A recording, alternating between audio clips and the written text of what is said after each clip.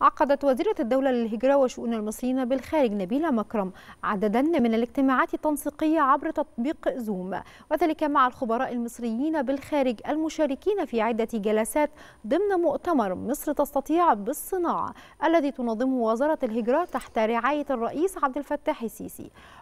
قالت مكرم إن هذه الاجتماعات جاءت للوقوف على الترتيبات النهائية لمؤتمر مصر تستطيع بالصناعة. مؤكدة أن المؤتمر يأتي اتساقا مع رؤى الدولة المصرية في ظل اهتمام القيادة السياسية بملف الصناعة وتنفيذ التوجيهات الرئاسية بدعم استراتيجية الدولة في مجال التوطين الصناعي.